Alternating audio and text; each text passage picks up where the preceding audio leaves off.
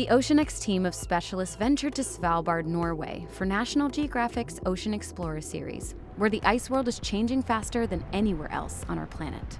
The mission? To gain a deeper understanding of whether and how Svalbard's polar bears are adapting to their changing environment.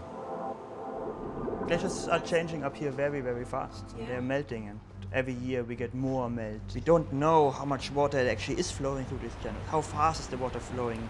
And a big challenge that we are facing is we can't measure it. Go. I'm just letting the boat know that we've got these two drifters that we're about to send out. Three, Got two, one, and off you go. After analyzing the drifter data, the team found that freshwater running below glaciers causes them to melt twice as fast as glaciers without fresh water. If the climate keeps getting warmer, the habitats of polar bears remain at extreme risk since they can't adapt to the changing climate quickly enough.